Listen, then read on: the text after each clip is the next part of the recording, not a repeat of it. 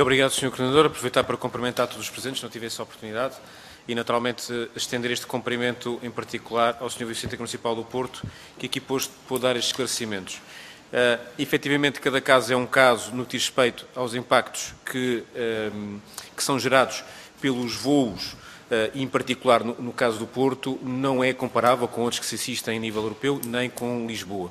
Ainda assim, uh, eu creio ser importante perceber dentro daquilo que é uma lógica de evolução normal que, que o nosso país tem assistido uh, ao crescente volume de voos, se efetivamente, no caso do Porto, uh, esse crescimento, se se vier a manter, remontando àquilo que é o ponto histórico antes de sermos atingidos pela pandemia, se esse crescimento tendencial se vier a manter, se porventura poderão existir no futuro alguns tipos de impactos com um maior volume de voos a ocorrer no aeroporto de Sá Carneiro, ou não, ou porventura se manter-se-á mais salvaguardado como atualmente se encontra. Muito obrigado.